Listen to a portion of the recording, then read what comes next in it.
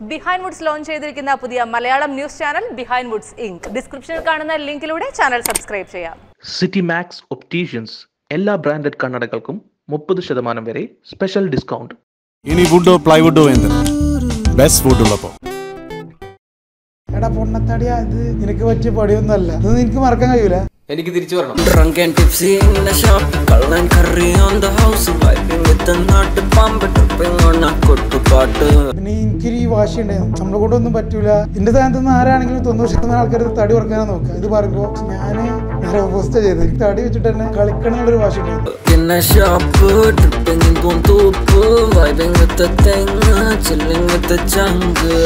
നമുക്ക് എന്ത് പ്രോബ്ലം വന്നാലും അറ്റ്ലീസ്റ്റ് പനി വന്നാലും എന്ത് വന്നാലും അത് തടി കൊണ്ടാണ്. പൊതുവെ പുറത്തുള്ളവർക്കുള്ള ഒരു വ്യൂ അങ്ങനെയാണ്. നീ വേറെ വല്ല പണിക്കും പോയിക്കൂടെ? ഇതെന്താ? ആനത്തുള്ളല്ലോ റെസ്പോണ്ട് ചെയ്യണ ഇഷ്ടമല്ല അപ്പൊ ഓരോട് പണ്ട് കാര്യം. ഓൽ പറഞ്ഞ പോലെ നമ്മളും പറഞ്ഞ പോലെ നമ്മളൊരു വ്യത്യാസം ഇല്ലാതായി. ഓരോ ഓരോ കൾച്ചർ നമ്മൾ നമ്മളെ കൾച്ചർ കാണിക്കണം ഈ തടി വെക്കാൻ തുടങ്ങുന്നതിന് ആക്സിഡന്റ് അല്ലാതെ ഇമോഷണലി ചെറിയ കണക്ഷൻസ് ഒക്കെ ഉണ്ടല്ലേ? ഒരു ഫെയിലിയർ ഉണ്ടായിട്ടുണ്ട്. ആ പേര് ഒരു വൺ സൈഡ് ലവ് ഉണ്ട്. ആ അങ്ങനെയൊക്കെ ഉണ്ട്. ആ ചെകഞ്ഞെടുത്തു ഞാൻ ഒപ്പിച്ചു. ഇതുവരെ ഞാനൊരു ഇതിൽ പറഞ്ഞിട്ടില്ല. ഒരു നെഗറ്റീവ് ഷെയ്ഡാണ് എന്റെ എന്റെ മേലെ പോസിറ്റീവ് ആയത്. ഒരിക്കലും ഒരു തടിയുള്ള ആൾക്ക് ഒരിക്കലും ഇങ്ങനത്തെ ഒരു ഇത് കിട്ടി ഇതുവരെ കിട്ടിയിട്ടില്ല.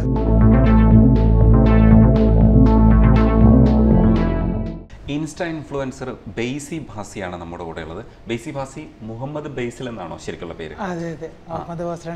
ഡാ തടിയാന്നൊക്കെ വിളിച്ച് ഭയങ്കരമായിട്ട് കളിയാക്കുന്ന ഒരു കാലത്തിലൂടെയാണ് കടന്നുപോയത്. ശരിക്കും ചെറുതിലെ മുതൽ ഇത്രയും തടി ഉണ്ടായിരുന്നു? ഇല്ല ഇല്ലായിരുന്നു ഇല്ലായിരുന്നു. ഞാനൊരു ചെറുപ്പം മുതൽ അത്ര തടിയില്ലായിരുന്നു. ഒരു സെവൻ ഒരു സെവൻത് സ്റ്റാൻഡേർഡ് തൊട്ടാണ് പിന്നെ നല്ല തടിയാവാൻ ഒരു ദിവസം തടിക്കാൻ തീരുമാനിച്ചു. അങ്ങനല്ല ചെറുപ്പം മുതലേ ഡാൻസ് ഡാൻസ് ഉണ്ടായിരുന്നു അപ്പോൾ സെവൻത് സ്റ്റാൻഡേർഡിൽ നിന്ന് സ്റ്റോപ്പ് ചെയ്തു. അപ്പോൾ സിനിമാറ്റിക് സോങ് ഒന്നും പറ്റില്ലെന്ന് പറഞ്ഞിട്ട് സ്കൂളിൽ അങ്ങനെ ചെറിയ ഇതൊക്കെ ആയി ഇഷ്യൂ ആയതുകൊണ്ട് അപ്പോൾ ഡാൻസ് സ്റ്റോപ്പ് ചെയ്തു. അപ്പോൾ അതിന് ശേഷം ഞാൻ തടി ഇങ്ങനെ വെക്കാൻ കൂടി. അപ്പം തടി വെച്ച് തടി വെക്കുന്നതിന് കാരണം എന്താണെന്നാണ് ഞാൻ ചോദിക്കുന്നത്. അത് ഫുഡ് അങ്ങനെ പിന്നെ ഫുഡ് ഭയങ്കരമായിട്ട് ഫുഡിയാണ്. ഫുഡിയാണ് ഡാൻസും ഇല്ലല്ലോ. അപ്പോൾ ശരിക്കും ഈ തടി വെക്കുന്നതിന്റെ എന്തെങ്കിലും പ്രത്യേകിച്ച് ഒരു കാരണം? ഈ ബുദ്ധിമുട്ടൊക്കെ വരുമ്പോൾ വിഷമമൊക്കെ വരുമ്പോഴത്തേക്ക് ആൾക്കാരൊക്കെ ഈ ഫുഡൊക്കെ ശ്രദ്ധിക്കാതെ ഒക്കെ ഉണ്ടായ അങ്ങനെയാണോ ഈ തടി വെച്ചത്? ആ ഫുഡ് കഴിച്ചിട്ടുണ്ടായിരുന്നു ഉണ്ടായത് തന്നെയാണ് പിന്നെ പൊതുവെ ഉമ്മയും ഉപ്പൊക്കെ തടി ഉണ്ടായിരുന്നു. അപ്പൊ അതിന്റെ ഒരു ഇത് കൂടി കിട്ടി പാരമ്പര്യമായി കിട്ടിയിട്ടുണ്ട്. പിന്നെ അങ്ങനെയൊക്കെ പിന്നെ തടി കൂടി തടി കൂടി പിന്നെ ഡാൻസ് ഒക്കെ നിന്നു. പിന്നെ അങ്ങനെയൊക്കെ ഡിഗ്രി ഏഴ് ഏഴ് വർഷത്തിന് ശേഷമാണ് പിന്നെ ഞാൻ ഡാൻസിലോട്ട് വരുന്നത്. അതെന്താ രണ്ടാമത് പിന്നെ ഈ ഈ തടി വെച്ചിട്ട് ഡാൻസ് കളിക്കണമെന്ന് തോന്നിയ ഒരു ഇൻസ്പിറേഷൻ എന്താണ്? ഡാൻസ് മാത്രമല്ല ഞാൻ ഇതിൽ മൊത്തത്തിൽ വരാൻ കാരണം കാരണം ഞാനൊരു ആക്സിഡന്റ് ആയി. ആക്സിഡന്റ് ആയ ടൈമിൽ എന്താ പറയുക ഫേസ് ഇപ്പോഴും എന്റെ കാലിൽ മുറിവുണ്ട്. അത് വെച്ചിട്ടാണ് ഡാൻസ്. ഇപ്പോഴും ഉണ്ട് അത്. ആ. അതൊരു ഇഞ്ചുറി അത് ഞാൻ ഇഞ്ചുറി ആയിട്ട് അത് വെച്ചിട്ടാണ് ഇപ്പോൾ ഡാൻസ് അത് ആക്സിഡന്റ് ആയ ടൈമിൽ ഫേസ് പിന്നെ കൈ പിന്നെ ലെഗ് എല്ലാതും എന്താ പറയുക ഒരു മേജർ ഇഞ്ചുറി ആയിരുന്നു. കുറച്ച് സീരിയസ് ആയിരുന്നു. അപ്പോൾ ആ ടൈമിലൊക്കെ ഞാൻ തിരിച്ചു വരൂല. അങ്ങനെയൊക്കെ ഒരു ഇതായിരുന്നു. കാരണം എന്റെ ഫേസും പിന്നെ എനിക്ക് എനിക്കെന്നെ തോന്നിയിട്ടുണ്ട്. പക്ഷേ എന്താ പറയുക ദൈവത്തിന്റെ ഇതുകൊണ്ട് തന്നെ പെട്ടെന്ന് എന്റെ ഫേസും എന്റെ എല്ലാതും ഓക്കെ ആയി. അപ്പോൾ അത് ഓക്കെ ആയപ്പോഴും പിന്നെ എല്ലാവരും ഇങ്ങനെ പറഞ്ഞു ഈ തടി കൊണ്ടാണിത് ഇങ്ങനെ ഈ മുറിതൊന്നും ശരിയാവാത്ത അങ്ങനെ ആക്സിഡന്റ് ആയതോ അല്ലേതോ ഒരു എന്ത് ചെയ്താലും അതൊരു തടി മാത്രമായി നമുക്ക് എന്ത് പ്രോബ്ലം വന്നാലും ഇപ്പോൾ അറ്റ്ലീസ്റ്റ് പനി വന്നാലും എന്ത് വന്നാലും അത് തടി കൊണ്ടാണ്. പൊതുവെ പുറ പുറത്തുള്ളവർക്കുള്ളൊരു വ്യൂ അങ്ങനെയാണ്. കാരണം തടി ഉണ്ടായത് കൊണ്ട് മാത്രമാണ് ഒരാൾക്ക് എന്ത് വരെ എന്ത് പറയാനൊരു മടിയായി. കാരണം നമുക്ക് എന്ത് പറഞ്ഞാലും അത് തടി കൊണ്ടാണ്. ആ ഒരു ഇതിലാണ് എനിക്ക് ഡാൻസ് കളിക്കണം എന്നുള്ളൊരു എനിക്ക് ഡാൻസ് പാഷനായിട്ടാണ് അപ്പോൾ ഞാനിങ്ങനെ കോളേജ് സെക്കൻഡ് ഇയർ ഞാൻ ഇപ്പം തടി ഉണ്ടെങ്കിലും നമ്മളൊരു ഫംഗ്ഷനൊക്കെ പോകുമ്പോൾ നമുക്ക് സോങ് കേൾക്കുമ്പോൾ നമ്മൾ മനസ്സിൽ നല്ല കളിയായിരിക്കും. ആ ഡാൻസ് ഫുള്ള് കളിയായിരിക്കും. പക്ഷെ നമ്മൾ സ്റ്റേജ് പുറത്ത് പുറത്ത് ഇങ്ങനെ ഈ ഒരു ഒരു സ്റ്റാൻഡപ്പിൽ ഇങ്ങനെ മനസ്സിലിങ്ങനെ കളിക്കും. പക്ഷെ മടിയ. കാരണം പൊതുവെ തടിയിലല്ലേ അങ്ങനെ നിൽക്കുമ്പോൾ കോളേജ് നിൽക്കുന്ന ടൈമിലാണ് എന്റെ സെക്കൻഡ് ഇയർ എനിക്ക് തോന്നുന്നത്. കോളേജ് നിൽക്കുന്ന ടൈമിലാണ് ഞാൻ രണ്ടാമത് ഏഴ് വർഷത്തിന് ശേഷം എന്റെ ഫ്രണ്ട്സാണ് കോളേജ് ഫ്രണ്ട്സാണ് എന്നെ സ്റ്റേജിലോട്ട് എത്തിച്ച്. അതെനിക്ക് ഓരോ താങ്ക് എത്ര താങ്ക്സ് പറഞ്ഞാലും മതിയാവില്ല. കാരണം ഓരാണ് എന്നെ സ്റ്റേജിലോട്ട് എത്തിച്ചത് പക്ഷെ ഒരു സ്റ്റേജിലോട്ട് എത്തിയ ടൈമിൽ ഇവർക്കൊന്നും അറിയില്ല ഞാൻ കളിക്കണത്? ഡാൻസ്. അവർ ആ ഒരു ഇതിൽ ഇങ്ങനെ കളിക്ക് കളിക്കുക പറഞ്ഞിട്ട് അങ്ങനെ കളിച്ചതാണ് പക്ഷെ ഞാനത് അന്ന് കളിച്ചതിനെ ഇന്ത്യയിൽ നിന്ന് ഒരു ഇത്ര പ്രതീക്ഷിക്കാത്തൊരു കളിയായിരുന്നു ഒരു ഞാൻ അന്ന് കളിച്ച് അപ്പോൾ ഭയങ്കര സപ്പോർട്ട് ചെയ്യുന്നു എന്റെ സീനിയേഴ്സ് ജൂനിയേഴ്സ് ഞങ്ങളെ ഈ എല്ലാവരും ഭയ- ഭയങ്കര സപ്പോർട്ട് ചെയ്യുന്നു കാരണം അശോക് ഷോ കേട്ടതിന് ശേഷം പിന്നെ അന്ന് എല്ലാവരും ഭയങ്കര ഇതൊക്കെ ചെയ്തു. പിന്നെ ആ വീഡിയോ ഒക്കെ വന്ന് ഇൻസ്റ്റ അങ്ങനെയൊക്കെ വന്നു. അപ്പോഴാണ് എനിക്ക് ഈ നെഗറ്റീവ്സ് വരാൻ തുടങ്ങിയത്. കാരണം കുറേ മോശം ഉണ്ടായിരുന്നു കാരണം ഏഴ് വർഷത്തിന് ശേഷം ഒരാൾ ഡാൻസ് കളിക്കുക എന്ന് പറയുമ്പോൾ അതിന്റെതായ മിസ്റ്റേക്സ് എന്തായാലും ഉണ്ടാവും. കാരണം ഞാൻ ഏഴ് വർഷം ഒന്നുമില്ല. ഞാൻ അപ്പം പാട്ട് കേൾക്കുന്നത് ആ ഒരു കോളേജിന്റെ കോളേജിന്റെ ഒരു ഇതിൽ കളിക്കണ ആ ഒരു ഇതാ. പിന്നെ ഉള്ളിൽ ഉള്ളിൽ ഉള്ളിലുണ്ട് എന്നുള്ളത് പുറത്തു നിന്നില്ലല്ലോ. പിന്നെ എനിക്കൊരു ഈ വാശി ഉണ്ടായിരുന്നു. നമ്മളെ കൊണ്ടൊന്നും പറ്റൂല. ആ ഒരു ആക്സിഡന്റ് ശേഷം ഞാൻ പറഞ്ഞില്ല പനി എന്ത് വന്നാലും ഇതൊരു വല്ലാതൊരു തടിമക്ക് മാത്രം എല്ലാവരും ഫോക്കസ് ചെയ്ത്. എല്ലാവരും ഈ തടിയ ഉം, എന്നൊക്കെ പറഞ്ഞിട്ട് കളിയാക്കുകയൊക്കെ ചെയ്യുമായിരുന്നു ഓ ഉണ്ടായിരുന്നു. പിന്നെ ഈ വീഡിയോ ഞാൻ പറഞ്ഞില്ലേ ഈ വീഡിയോ വന്ന ടൈമിലൊക്കെ എനിക്കിപ്പോൾ ഓർമ്മയുണ്ട് എന്റെ ഇൻസ്റ്റയിൽ ഒരു കമന്റ് ഉണ്ട്. എന്താ പറയുക എടാ പൊണ്ണത്തടിയ ഇത് നിനക്ക് പറ്റിയ പടിയൊന്നുമല്ല. ഇതൊന്നും എനിക്ക് മറക്കാൻ കഴിയൂല. പിന്നെ പറയും പിന്നെ എന്തെന്ന് പറഞ്ഞത്? അങ്ങനെ നീ വേറെ വല്ല പണിക്കും പോയിക്കൂടെ? ഇതെന്താ എന്താ ആന ആനത്തുള്ളലോ? അങ്ങനെ എന്തൊക്കെ പറഞ്ഞിട്ട് അങ്ങനെയൊക്കെ കുറേ കുറേ കമൻസ് ഒക്കെ വന്നിരുന്നു. പക്ഷെ ഞാൻ അതിനൊന്നും അങ്ങനെ റെസ്പോണ്ട് ചെയ്യണ ഇഷ്ടമല്ല കാരണം എന്താ ഓരോട് പണ്ട് കാര്യം? ഓൽ പറഞ്ഞ പോലെ നമ്മളും പറഞ്ഞ ഓൽ നമ്മളുടെ വ്യത്യാസം ഇല്ലാതായി പോകും. കാരണം ഓരോ ഓരോ കൾച്ചർ കാണിക്കണം നമ്മൾ നമ്മളെ കൾച്ചർ കാണിക്കണം. ഇപ്പോൾ ഞാൻ പ്രതികരിച്ചു അപ്പോഴും എനിക്കൊരു വാശി വന്നത്. ഞാനിത് പറഞ്ഞപ്പോൾ എനിക്ക് ഒരു പക്ഷേ എനിക്ക് തടി കുറക്കാനായിരിക്കും എന്റെ സ്ഥാനത്ത് നിന്ന് ആരാണെങ്കിലും തൊണ്ണൂറ് ശതമാനം ആൾക്കാർ തടി കുറക്കാനാണ് നോക്കുക. ഇത് പറയുമ്പോൾ പാഷൻ വേണ്ടിയിട്ട് തടി കുറക്കാനാണ് നോക്കുക. പക്ഷെ ഞാൻ നേരെ ഓപ്പോസിറ്റ് ചെയ്തത്. എനിക്ക് തടി കുറച്ചിട്ട് എനിക്ക് തടി വെച്ചിട്ട് തന്നെ കളിക്കണം എന്നുള്ളൊരു വാശി ഉണ്ടായിരുന്നു. കാരണം പിന്നെ പോലെ തന്നെ കുറേ ആളുകളുണ്ടാവും. കാരണം തടിച്ചിട്ടുള്ളവരുണ്ടാവും. അവർക്കൊക്കെ നല്ല കഴിവും ഉണ്ടാവും. ഇപ്പം തടിച്ചിട്ടെന്നുള്ളവരല്ല തടിച്ചിട്ട് മെലിഞ്ഞവര് കറുത്തവർ അങ്ങനത്തെ കുറേ നമ്മുടെ ചെറുപ്പം മുതലേ നമുക്ക്. ആ പൊക്കമുള്ളവർ പറഞ്ഞവർ ഇതൊക്കെ നമ്മുടെ ആൾക്കാരിലേക്കൊരു നമ്മളെ ഒരു കുത്തിവെച്ച ഒരു ഇതാണത് ചെറുപ്പം മുതലേ ഓ കറുത്തിട്ട അവർക്കൊന്നും പറ്റൂല. ഇപ്പോൾ കറുത്തിട്ടായ മോഡലിങ്ങിന് പോകാൻ പറ്റൂല. ഇപ്പോൾ പൊക്കം കുറഞ്ഞ സിനിമയിൽ പറ്റൂല. അങ്ങനെയൊക്കെ നമ്മൾ തന്നെ പണ്ടൊക്കെ ഉള്ളൊരു ഇതായതുകൊണ്ട് അതിന്റെ ഒരു ഇത് ആ ഒരു ഇതുകൊണ്ട് വാശിക്കനേനു ഞാൻ ഇത് വെച്ച് ഇമ്പ്രൂവ് ചെയ്യുന്നുള്ളതിലാക്കി ഞാൻ സ്റ്റെപ്പ് ബൈ സ്റ്റെപ്പ് ബൈ തന്നെ ചെയ്തിട്ട് ടിക്ടോക്കിൽ ആദ്യം ചെയ്തു. ഒന്ന് രണ്ട് നെഗറ്റീവൊക്കെ പോയി. ഒരു നൂറ് നെഗറ്റീവ് ഉണ്ടെങ്കിൽ ഒരു തൊണ്ണൂറ്റെട്ടായി പിന്നെ പോയി പിന്നെ പോയി പിന്നെ ഇമ്പ്രൂവ് ചെയ്തു. ഞാൻ പ്രാക്ടീസ് ചെയ്തു. പ്രാക്ടീസ് ചെയ്ത് പ്രാക്ടീസ് ചെയ്ത് നല്ല ഇമ്പ്രൂവ് ചെയ്തതിന് ശേഷം ഇപ്പോഴും എനിക്ക് അത് അഭിമാനത്തോടു കൂടി പറയാം. കാരണം എനിക്ക് ആ നെഗറ്റീവ് അടിച്ചു ഞാൻ എല്ലാത്തിലും പറയുന്ന പോലെ ആ നെഗറ്റീവ് അടിച്ചവർക്ക് ഇപ്പോഴും പറയും. ഇപ്പോഴും എനിക്ക് പറയണ്ട sorry bro it's our mistake എന്നൊക്കെ പറഞ്ഞിട്ട് തെറ്റ് പറ്റി. കാരണം യു ആർ ടാലന്റഡ് എന്ന് പറഞ്ഞിട്ട് മെസ്സേജ് അയക്കുമ്പോൾ നമുക്ക് കിട്ടൊരു ഹാപ്പിനെസ് തന്നെ അത്. ഞാൻ എപ്പോഴും thank you bro thank you so much keep supporting എന്നാണ് പറഞ്ഞത് കാരണം അതിന് കൂടുതൽ പ്രതികരിക്കാറില്ല. കാരണം അതിനാ പ്രതികാരം തന്നെ ധാരാളമാണ്. കാരണം ഒരു നമ്മോട് ഇത്രയും പൊണ്ണത്താടിയ എനിക്ക് വേറെ വല്ല പണിക്കും പോയി എന്ന് ചോദിച്ചവർ ഇങ്ങനെ നമ്മോട് പറയുമ്പോൾ തന്നെ നമുക്ക് കിട്ടുന്ന ഒരു ഹാപ്പിനെസ് അതിൽ കൂടുതലൊന്നുമില്ല. അല്ല ഈ തടി വെക്കാൻ തുടങ്ങുന്നതിന് ആക്സിഡന്റ് അല്ലാതെ ഇമോഷണലി ചെറിയ കണക്ഷൻസ് ഒക്കെ ഉണ്ടല്ലേ? ഒരു ഒരു ഫെയിലിയർ ഉണ്ടായിട്ടുണ്ട്. ആ, ഒരു വൺ സൈഡ് ലവ് ഉണ്ട്. അങ്ങനെയൊക്കെ ഉണ്ട്. ചെകഞ്ഞെടുത്തു. ഞാൻ ഒപ്പിച്ചു. ഇതുവരെ ഞാനൊരു ഇതിലും പറഞ്ഞിട്ടില്ല. ആർക്കും ഉണ്ടാവല്ലോ പ്രേമില്ലാത്ത മനുഷ്യരുണ്ടോ? അതെ, തീർച്ചയായിട്ടും. അത് സ്വാഭാവികമാണല്ലോ. ഒരു വൺ സൈഡ് ലവ് ചെയ്തു. ആ. ആ, എനിക്കിഷ്ടം ചെയ്തു. അപ്പോഴും മെലിഞ്ഞിട്ടായിരുന്നു വരുന്നിരുന്നത് അല്ല അപ്പൊ തടിച്ചിട്ടൊക്കെ കോളേജിൽ നിന്നാണ് കോളേജിൽ അതാ പറഞ്ഞത്. ഒരു വാശിന്റെ കൂട്ടത്തിൽ ഇത് കൂടി ഉണ്ടായിരുന്നു. ഇവരുടെ ഒരു ഇതിൽ മുന്നിൽ കൂടി ഒന്ന് അതെ ഷൈൻ ചെയ്യാൻ വേണ്ടിയിട്ട് കൂടെയാണ് നമ്മൾ ഇതിലേക്ക് എത്തിയത്. അത്. എങ്ങനെയാ ഫെയിലിയർ ആയത്? എങ്ങനെയാ? അയാളോട് പറഞ്ഞില്ല? പറഞ്ഞിട്ടുണ്ടായിരുന്നു. അപ്പൊ കണക്കിന് കിട്ടി. പക്ഷെ അന്ന് ഭയങ്കര വിഷമമായിരുന്നു അല്ലേ? അന്ന് ഭയങ്കര വിഷമം. പക്ഷെ ഇപ്പോഴും ആൾ സ്റ്റിൽ മൈ ബെസ്റ്റ് ഫ്രണ്ട് ആ ആ. നല്ല ക്ലോസ് ഫ്രണ്ട് ആണ്. അല്ലാതെ ആൾ ഒരിക്കലും തടി കൊണ്ട് അങ്ങനെ ഇതായിരുന്നുള്ളൂ ആൾക്ക് വേറെ ഇഷ്യൂസ് ഉണ്ടായിരുന്നു. അതൊരിക്കലും ഇതായിരുന്നു. കാരണം അത് ഇതിന്റെ ഒരു ഭാഗമാണ്. എനിക്ക് ആ ഒരു ഭാഷ ഉണ്ടായിരുന്നു. അപ്പൊ അതുകൂടി കൂടിയിട്ടാണ് ഞാൻ അത്രയും നന്നായിട്ട് ഇതിലേക്ക്. ഇപ്പൊ എത്ര ഫോളോവേഴ്സ് ആണ് ഉള്ളത്? Three lakh forty three thousand ഒരു മൂന്ന് ലക്ഷത്തി സംതിങ്ങേ ഉള്ളൂ കേട്ടോ. എനിക്ക് വലിയ അഹങ്കാരമൊന്നും ഇല്ല എന്നുള്ളതാണ് പറയണത്. ഈ- ഇതിപ്പോ കൂടെ കളിക്കുന്നവര് ആരൊക്കെ എങ്ങനെയൊക്കെ അവരൊക്കെ സെലക്ട് ചെയ്യണേ? എനിക്ക് എന്നെ ഇവിടെ ഈ ഡാൻസിക്ക് ഞാൻ ഈ ഡാൻസ് ടിക് ടിക്ടോക്ക് കളിക്കുന്ന ടൈമിൽ ഞാനും പിന്നെ രോഹിത്തേട്ടൻ പറയും. നമ്മുടെ കൂടെ കളിക്കുന്ന രോഹിത്തേട്ടൻ രാഹുലേട്ടൻ പ്രവീണേട്ടൻ വിഘ്നേഷ് പിന്നെ ജിജിനേട്ടൻ അമൃതേച്ചി അനീഷേട്ടൻ ഷാനുക്ക അങ്ങനെ എല്ലാവരും ഉണ്ട് ഞങ്ങളൊരു വിജയശേട്ടൻ ഒരാൾ പറഞ്ഞു ആയ ഞങ്ങൾ പത്ത് മെമ്പറുള്ള പത്ത്. മിസ് പത്ത് മിസ്സായ പത്ത് മെമ്പറുള്ള ഒരു അപ്പൊ അപ്പം ഞാൻ ഞാൻ ഡാൻസ് കളിക്കുന്ന ടൈമിൽ തന്നെയാണ് രോഹിത് ഏട്ടനും രാഹുലേട്ടൻ എന്ന് പറയും.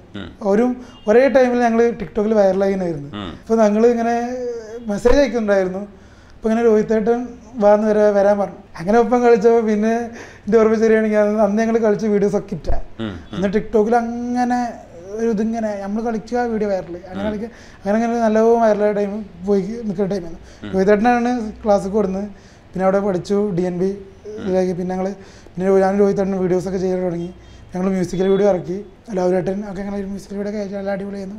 ഇതൊക്കെ ആയി. അതിനിടയ്ക്കാണ് ഇപ്പോൾ ടിക്ടോക്ക് ബാൻ ചെയ്തത്. ഇപ്പം ഇത്രയും ഒരു നല്ല സ്റ്റാൻഡിൽ നിന്നപ്പോഴും നമ്മൾ ടിക്ടോക്ക് ബാൻ ചെയ്തപ്പോൾ പിന്നെ എനിക്ക് ഉണ്ടായിരുന്ന അടുത്ത എന്താ? വിളിക്കാത്തവരെ വിളിക്കുക. വിളിക്കാത്തവരെ വിളിച്ചിട്ട് ചോദിക്കുകയാണ് വാസി നീ തൂങ്ങരുത്തിട്ടോ ഞാൻ വേറെ ലൈഫ് വേറെ എന്തെങ്കിലും ഉണ്ടാവും. നീ ഒന്നും കയ്യബത്തൊന്നും ചെയ്യരുതിട്ടോ. ഇനിയിപ്പോൾ എന്താ നീ ചെയ്യുക ടിക്ടോക്ക് ബാൻ ചെയ്തു. കാരണം അന്ന് നമ്മൾ ഇൻസ്റ്റയിലില്ല. അപ്പോൾ അങ്ങനെ അങ്ങനെ കളിയാക്കിയപ്പോൾ അപ്പോഴും ഞാൻ ഓക്കെ ഇതേപോലെ ഇതിലും വലിയ നെഗറ്റീവ് ഇട്ടിട്ട് പിന്നെ ഇതായിട്ടില്ല. ഇരിക്കുകയാണ് നമ്മൾ നീരജ് മാധവന്റെ ഒരു പണിപോളി ചലഞ്ച് പറഞ്ഞിട്ടൊരു ഡാൻസ് ചലഞ്ച് വന്നത്. അപ്പോൾ ഞാൻ ടിക് ഇൻസ്റ്റയിൽ വന്നപ്പോൾ തന്നെ ഞാനത് ട്രൈ ചെയ്ത് ഞാൻ ഇട്ടു. അതിൽ നീരജ് നീരജ് സാറൊക്കെ എനിക്ക് കമന്റ് ചെയ്ത് പോളിബ്രോ സ്റ്റാറ്റസ് ഒക്കെ ഇട്ട്. അതുകൊണ്ട് എനിക്ക് നമുക്ക് കിട്ടുന്ന എത്ര നെഗറ്റീവ് നമ്മൾ ഒരു ആർട്ടിസ്റ്റ് നമ്മളെ വീഡിയോ ഒരു കമന്റ് ഇടാതെ തന്നെ നമുക്കൊരു ഇതല്ലേ? അത് തന്നെ കയറി പോയി ഇത് ഈ ഭയങ്കര പോസിറ്റീവ് ആയിട്ടാണ് ഇപ്പൊ ഇതിനെ കാണുന്നത്. ഇപ്പൊ ഒരുപക്ഷെ ഭാസിയെ തിരിച്ചറിയുന്നത് നമ്മളും ഒക്കെ വിളിക്കുന്നതും നല്ലൊരു തടിയനായിട്ടുള്ള ഒരാളായതുകൊണ്ടാണ്. നമ്മളത് പോസിറ്റീവ് ആയിട്ടാണ് അത് നോക്കി കാണുന്നത് പക്ഷെ ഒരു കാലത്ത് അങ്ങനെ ആയിരുന്നില്ല ഭയങ്കരമായിട്ട്. ഒരിക്കലും അല്ല. നിങ്ങൾ പറഞ്ഞ ശരി. ഇപ്പം ഞാൻ ആദ്യ ടൈമിൽ ഇപ്പം നമ്മൾ നമുക്കിപ്പോൾ ഈ കഴിവുണ്ടായപ്പോൾ ആ ബസ് ബ്രോ അല്ലേ അല്ലെങ്കിൽ ബേസിക്കൽ അങ്ങനെ പറഞ്ഞുകൊണ്ട് ഒരു നമുക്ക് തന്നെ ഒരു ഹാപ്പിനെസ്സാണ് കാരണം ഒരു നെഗറ്റീവ് ഷെയ്ഡാണ് എന്റെ എന്റെ മേൽ പോസിറ്റീവ് ആയത്. കാരണം ഒരിക്കലും ഒരു തടിയുള്ള ആൾക്ക് ഒരിക്കലും ഇങ്ങനത്തെ ഒരു ഇത് കിട്ടി ഇതുവരെ കിട്ടിയിട്ടില്ല. എനിക്ക് കിട്ടുന്ന ഹാപ്പിനെസ് അതാ. കാരണം ഒരു തടി ഉണ്ടായിട്ട് ഇന്നെ വന്നിട്ട് വൈസി ബ്രോ അല്ലേ അല്ലെങ്കിൽ വൈസിക്കല്ലേ അടിപൊളി അങ്ങനെ അങ്ങനെ ഡാൻസ് ഷെയർ ആക്ടീവ് ഷെയർ അങ്ങനെയൊക്കെ പറയുമ്പോൾ നമുക്ക് ഭയങ്കര ഹാപ്പിനെസ്സാണ് ഒരു കാലത്ത് ഇപ്പോൾ ഏട്ടൻ പറഞ്ഞ പോലെ ഒരു കാലത്ത് എനിക്ക് വന്നത് നേരെ ഓപ്പോസിറ്റ് നേരെ വിളിക്കും ബ്രോ എന്താണ് തടി ഇങ്ങനെ കൂടാണല്ലോ തടി കുറക്കണമല്ലോ എന്താണിത് അസുഖമാണോ ചോദിക്കും ഇതാണോ? ചോദിക്കും. അപ്പം പറഞ്ഞാൽ അല്ല. പിന്നെ പറയും ഞാൻ ചെറുപ്പം മുതലല്ല ഞാൻ തടി വെക്കൽ മുതൽ കേക്കിൽ തുടങ്ങിയ ഒരു ഇതുണ്ട്. കക്കരിക്ക് ഇതും സലാഡും കഴിച്ചാൽ തടി കുറയും തടി കുറയും തടി കുറയും. ഞാൻ കേട്ട് കേട്ട് കേട്ട് കേട്ട് മടുത്താ. എല്ലാവർക്കും ഒരേ ഒരു ഇത് പിന്നെ തേനിൽ നേരം ഇടുക. ഇതൊക്കെ നമുക്ക് കേട്ട് കേട്ട് മടുത്തൊരു കാര്യമാണ് ഇതൊക്കെ പറയും. അപ്പോഴും തടി കുറക്കണ ഒരു ഇത് വന്നിട്ടില്ല. ഇനി കുറക്കും ഇൻഷാല്ല എനിക്ക് അതൊരു പ്ലാനും ഉണ്ട്. കാരണം അങ്ങനെയുണ്ട്. ഇനി കുറച്ച് ഉദാഹരണം ഇപ്പത്തെ ഇനി തടി കുറച്ചിട്ട് ഒരു മോട്ടിവേഷൻ രീതിയിൽ എങ്ങനെയായാലും നമ്മൾ ഇൻഫ്ലുവൻസർ ആയിരിക്കും എപ്പോഴും. അതാണ് നമ്മുടെ ഇതെന്ന് പറയുന്നത്. ഇത് ഇപ്പോൾ വളരെ പോസിറ്റീവ് ആയിട്ട് നമ്മൾ ഹാപ്പിനെസ്സോട് കൂടി തന്നെയാണ് ഇതിനെ കാണുന്നത്. പക്ഷെ എപ്പോഴെങ്കിലും ഒക്കെ ബേസിക്ക് ഇല്ലെങ്കിൽ ഭാസിക്ക് ഏത് വിളിക്കുന്നതായിരിക്കും കൂടുതൽ ഇഷ്ടം? രണ്ടും വിളിക്കാറുണ്ട് രണ്ടും വിളിക്കാറുണ്ട്. വീട്ടിൽ ഭാസി എന്നാണ് വീട്ടിൽ. ഭാസി ഇപ്പോ ഇപ്പൊ ശരിക്കും എത്ര വയസ്സായി ട്വന്റി ത്രീ. ഈ തടി കൂടിയത് ഏത് പ്രായത്തിലായിരുന്നു? ഒരു പതിനഞ്ച് പതിനേഴ്. ആ പതിനേഴ് പതിനേഴ് പതിനഞ്ച് പതിനേഴ് ആ പ്രായത്തിലായിരുന്നു. ഈ, ആ, ഇനിയിപ്പോ തടി കുറയ്ക്കുന്നുണ്ട്? ആ, കുറക്കണ പ്ലാൻ ഉണ്ട്. ആ പ്ലാൻ ഉണ്ട്. അതുകൊണ്ട് വെച്ചാ, ഈ ഹാപ്പിനെസ് ഇപ്പൊ ഇങ്ങനെ നിൽക്കട്ടെ അത് കഴിഞ്ഞിട്ട് നമ്മൾ തടി കുറച്ചോളാം. ഞാൻ ചോദിക്കുന്നത് ഇത് എവിടെയെങ്കിലും എപ്പോഴെങ്കിലും ഒക്കെ ഭാസിക്ക് എന്നെ ശരിക്കും ബുദ്ധിമുട്ടായി തോന്നിയിട്ടുണ്ടോ? ഇല്ല. തടി. ഇല്ല. ഒരിക്കലും ഇല്ല. ഒരു ഒരു അവസരത്തിലും അങ്ങനെ ഒരു ഒരു എനിക്കിത് പറ്റണില്ല അത് എന്റെ തടി കൊണ്ടാണെന്ന് തോന്നിയിട്ടില്ല. മറ്റുള്ളവർ പറയുമ്പോ എനിക്ക് ഇടയ്ക്ക് തോന്നും. ആ. ആ ഇതിന്റെ പ്രശ്നം തന്നെ. ഒരു പ്രശ്നമുണ്ട്. അത് ഞാൻ നേരത്തെ പറഞ്ഞില്ലേ? അത് അവരുടെ പ്രശ്നമായിട്ടാണ് തോന്നുന്നത് ബാസിക്ക് അത് എനിക്കത് പറയുമ്പോ തോന്നും. കാരണം ഇപ്പൊ ഞാൻ പറഞ്ഞില്ല എന്തെങ്കിലും നടക്കുമ്പോ പനി വന്നാൽ പറയും തടി. എല്ലാവർക്കും ഒരു എന്ത് മനുഷ്യന് തടി ഉണ്ടായതിന്റെ പേരിൽ എന്ത് വന്നാലും അത് തടി എന്നുള്ള പേരിൽ മാത്രം ഒതുങ്ങി.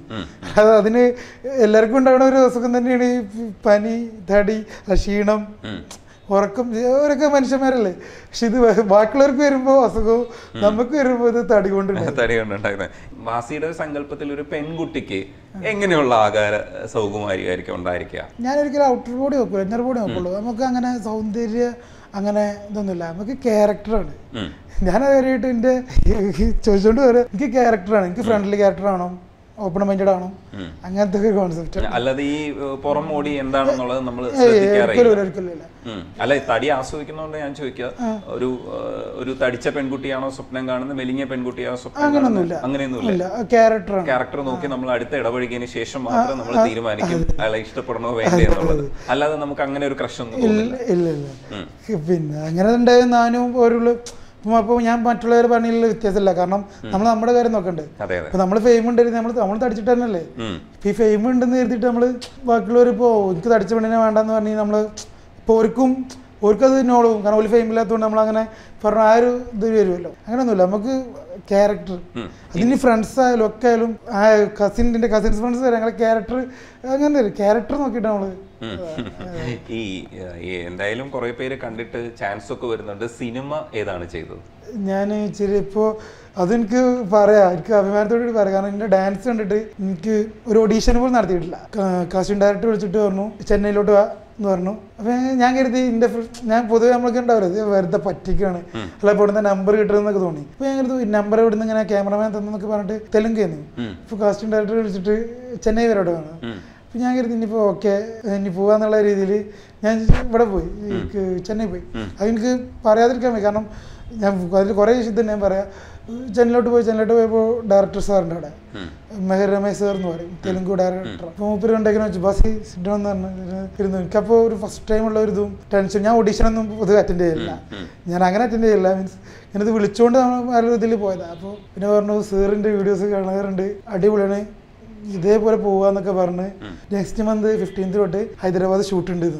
ആരുടെയാണ് പടം? ചിരഞ്ജീവി പിന്നെ കീർത്തി സുരേഷ് തമന്ന ബോലോ ശങ്കർ എന്നുള്ള പടത്തിലാണ്. അപ്പോൾ ഷൂട്ട് ഉണ്ടെന്ന് പറഞ്ഞു. അതിന് ഞാനൊരു എനിക്കൊരു ഹാപ്പിനെസ് കിട്ടിക്കാണ് ഇത്രയൊരു ഇത് ഇതിൽ നമുക്ക് ചെറിയ ഒരു സോങ്ങിലാണ് ചെറിയ വിളക്ക് ചെറിയ റോൾ നമ്മളെ വീഡിയോ കണ്ടിട്ടാണ് വിളിക്കുന്നത് എനിക്കൊരു ഓഡീഷൻ എന്നോട് അവിടെ ഒന്നും ചെയ്യാനൊന്നും പറഞ്ഞില്ല. പിന്നെ നമ്മളൊക്കെ കണ്ടുപഠിക്കേണ്ട. ഞാൻ റോൾ മോഡൽ ആക്കേണ്ട ഒരാൾ തന്നെയാണ് ഈ മേരമ സാർ എന്നൊക്കെ പറഞ്ഞാൽ കാരണം ഞാൻ ഷൂട്ടിങ്ങിന് പോയപ്പോൾ എനിക്കുള്ള ഒരു ഇൻസിഡന്റ് ഷെയർ ആക്കാണ് നമ്മൾ ഷൂട്ടിങ്ങിന് പോയപ്പോൾ സാർ എന്നെ വിളിച്ചിട്ട് പറയാ ഒരിക്കലും നമ്മളെ കണ്ടുപഠിക്കേണ്ട ഒരാൾ തന്നെ. ബാസി കമോൺ ഓയിസ് ഷൂട്ട് എന്നൊക്കെ ചോദിച്ച് പിന്നെ സോ എക്സൈറ്റഡ് എന്നൊക്കെ പറഞ്ഞു. ഓക്കെ എന്ന് പറഞ്ഞു. പിന്നെ ഒരു ദിവസം ഞാൻ സാറുടെ ഓഫീസ് പോയി. സാറുടെ ഓഫീസ് പോയപ്പോൾ ഞാൻ കാറിലായിരുന്നു സ്പോട്ട് എഡിറ്റർ ഉണ്ടായിരുന്നു. സ്പോട്ട് എഡിറ്റർ ഓഫീസ് പോയി. ഞാൻ കാറിൽ കുറേ ചൂടെടുത്തപ്പോൾ ഞാൻ പുറത്തിരുന്നു. അപ്പോൾ സാറ് വന്നിട്ട് ചോദിച്ചു വൈ ഒരു ഔട്ട് സൈഡ് എന്നൊക്കെ ചോദിച്ചു. അപ്പോൾ ഞാൻ കരുതി കാറിൽ നിന്ന് പുറത്തിറങ്ങിയത് സീനായോ എന്നൊക്കെ കരുതി. പിന്നെ എന്നെ വിളിച്ചുകൊണ്ട് സെക്കൻഡ് ഫ്ലോറിൽ എത്തിയിട്ട് പറഞ്ഞു നിനക്ക് എപ്പോൾ ഇങ്ങോട്ട് വരികയാണെങ്കിലും നീ ഇവിടെ ഇരുന്നാൽ മതി. നീ ഒരിക്കലും പുറത്തിരിക്കേണ്ട ആവശ്യമില്ല. ഇത്രയും എന്താ പറയുക എനിക്ക് ഒരു ഡേ ഇത്രയും ഇപ്പോൾ ഒന്നും വേണ്ട. നമുക്ക് ഒരു ഇൻസ്റ്റയിലേക്ക് തന്നെ അറിയാം കുറച്ച് ഫോളോവേഴ്സോ അല്ലെങ്കിൽ കുറച്ച് ഇതുള്ളവർക്ക് തന്നെ ഓരോ ആറ്റിറ്റ്യൂഡ് നടക്കുന്നത് നമ്മളെ മുന്നിൽ തന്നെ ഉണ്ട്. ഞാൻ അതുകൊണ്ടൊക്കെ തന്നെയാണ് ഈ ആറ്റിറ്റ്യൂഡ്.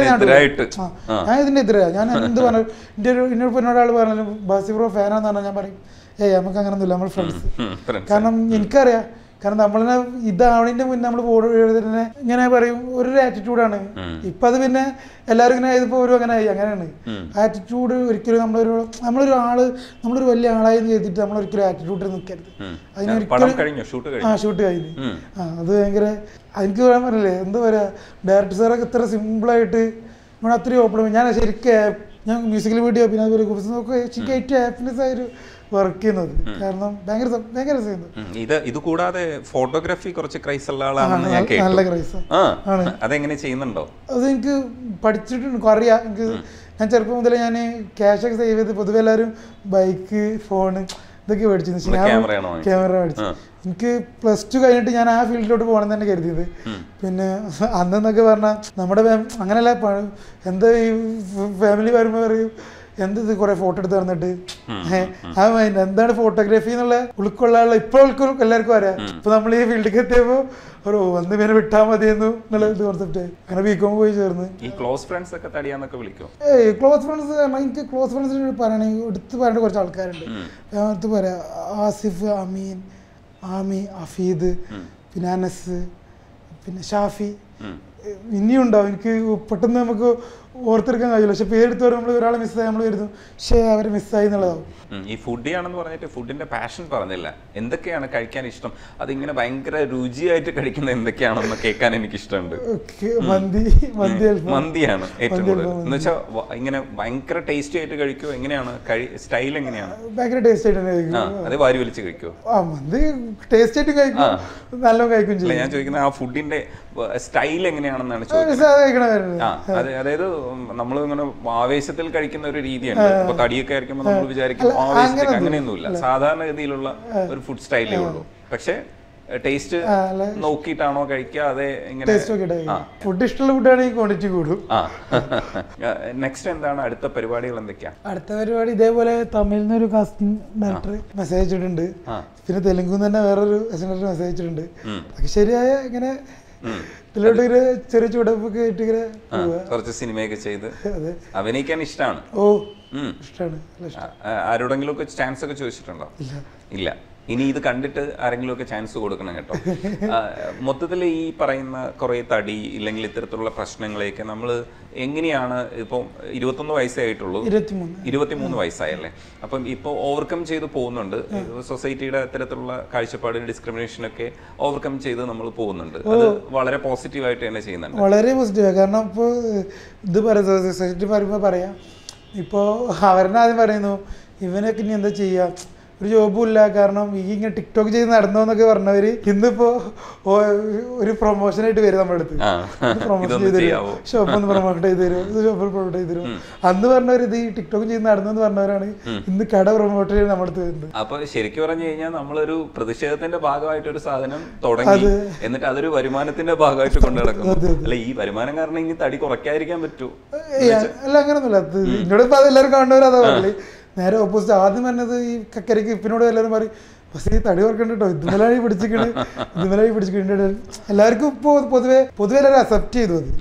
കാരണം എല്ലാവർക്കും ഭയങ്കര ഒരു ക്യൂരിയോസിറ്റി ഒരു ഇതിൽ ഓ ബ്രോ എന്നോട് അതെനിക്ക് പറഞ്ഞാൽ മനസ്സിലാവില്ല ഇപ്പോൾ രണ്ട് വീക്ക് മുന്നേ ഡി ജെ ശേഖർ എന്ന് പറഞ്ഞ ആക്ടർ ഉണ്ട്. നമ്മൾ ഡാത്തടിയിലൊക്കെ ആക്ടർ ഇപ്പോൾ മൂപ്പറിന്റെ സ്റ്റാറ്റസ് ഇട്ട്. ഉം. അപ്പൊ നമുക്ക് കിട്ടിയ ഹാപ്പിനെസ് കാരണം മൂപ്പര് വീഡിയോ ഇഷ്ടപ്പെട്ടിട്ട് മൂപ്പർ സ്റ്റാറ്റസ് ഇട്ട്. ഇപ്പൊ ഇന്നലെ എനിക്ക് ഒരു തമിഴ് ആക്ടർ മെസ്സേജ് അയച്ചു. Bro your videos awesome I am become a fan of you എന്നൊക്കെ പറഞ്ഞിട്ട്. അതൊക്കെ പറഞ്ഞാൽ നമുക്ക് കിട്ടുന്ന ഏറ്റവും വലിയ ഹാപ്പിനെസ് ആണ് കാരണം ഒരു ആക്ടറൊക്കെ നമ്മുടെ ഇത് പറയാന്ന് പറഞ്ഞാൽ തന്നെ ഒരു നമുക്ക് നമ്മൾ ആരും അല്ലല്ലോ. നമ്മളൊരു ഇൻസ്റ്റാഗ്രാമർ വഴി വന്നിട്ട് ഇപ്പൊ നമ്മളൊരു ആക്ടർക്ക് നമ്മൾ പറയാം ബിക്കം ഫാൻ എന്നൊക്കെ പറഞ്ഞാൽ നമുക്ക് എന്താ പറയാ? ഭയങ്കര പക്ഷെ ഇത് കാരണം ഇനി തടി കുറയ്ക്കാതിരിക്കേണ്ടി വരുമോ അത് നമ്മൾ വിചാരിച്ചാൽ. അതാണ് നമ്മുടെ അടുത്ത അടുത്ത ഇനി അതേ പറഞ്ഞത്.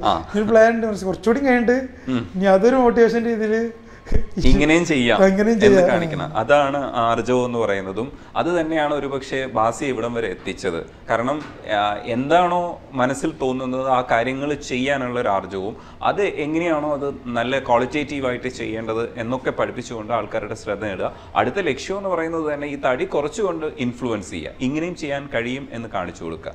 എന്തായാലും നന്ദിയുണ്ട്. കണ്ടതിലും സംസാരിച്ചു thank you City Max Opticians എല്ലാ ബ്രാൻഡഡ് കണ്ണടകൾക്കും മുപ്പത് ശതമാനം വരെ സ്പെഷ്യൽ ഡിസ്കൗണ്ട് ഇനി വുഡോ പ്ലൈവുഡോ എന്ത് ബെസ്റ്റ് വുഡ് ഉള്ളപ്പോൾ